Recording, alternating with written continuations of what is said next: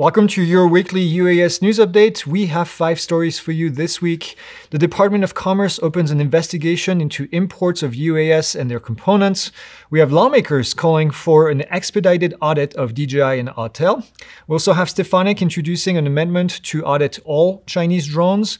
And then we have a new FAA administrator. That's the fourth story, which is crazy. Uh, we also have DJI releasing uh, three new Agras drones. That's kind of the uh, drones for good story this week. Let's get to it. And first up this week, the US Commerce Department has officially launched a what's called Section 232 National Security Investigation into drones and their components with a clear focus on Chinese manufacturers. Uh, the investigation falls under what's called the Trade Expansion Act of 1962, which is giving the government the power to recommend tariffs, quotas, or other restrictions if it finds that imported products are a threat to national security.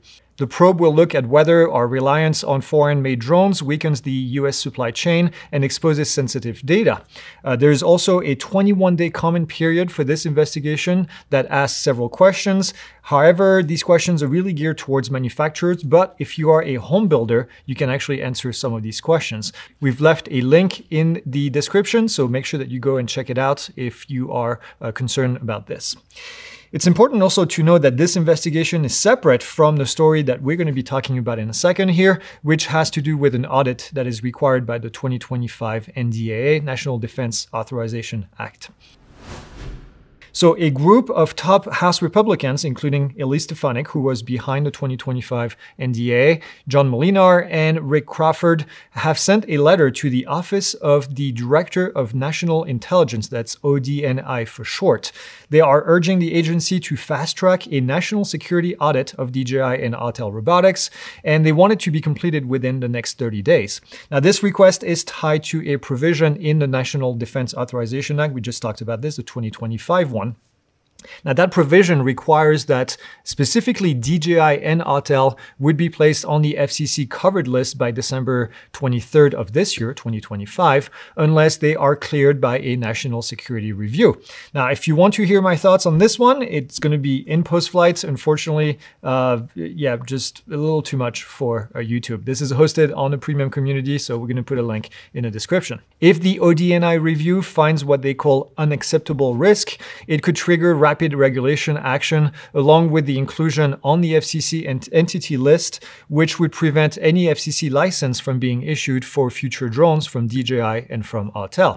Now, DJI has repeatedly denied any affiliation with the Chinese military, and a 2022 Pentagon audit found that there were no malicious codes in their government edition drones. However, the lawmakers behind this push argue that the audit was limited and is now outdated. Uh, this is a developing situation, obviously, but a 30 day timeline is, quite frankly, pretty aggressive. Uh, the last 30 day period that we saw was mandated by Trump's executive order, and it's now two weeks behind and counting with still no results. Uh, it's also very curious, I think, that the lawmakers that are behind the language in the NDAA are also the ones that are pushing for this audit to happen.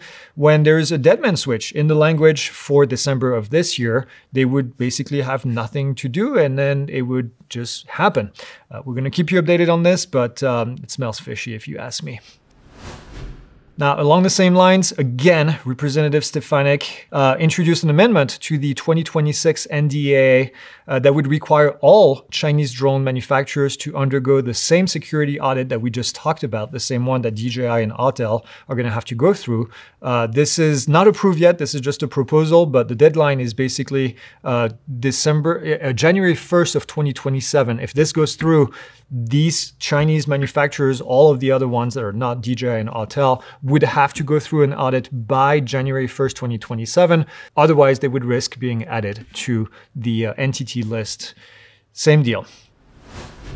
And even more news from the US government. Uh, the Senate has confirmed Bryan Bedford as the new FAA administrator with a 53 to 43 vote. Uh, Bedford is the former CEO of Republic Airways. Uh, he's been tasked with uh, quite a bit. Uh, he's got some challenges coming up, uh, overseeing some issues with modernizing the national air traffic control system, and then also integrating drones into the national airspace with the BVLOS rules. Congress has approved a $12.5 billion modernization modernization plan, which Bedford is now fully in charge of implementing. So good luck to him. I hope he succeeds. This is something that we uh, badly, badly need. And next up, some good news not so bad news, whatever you want to call it, but DJI rolled out some uh, agricultural drones, three of them to the global market, uh, but not in the US at the moment.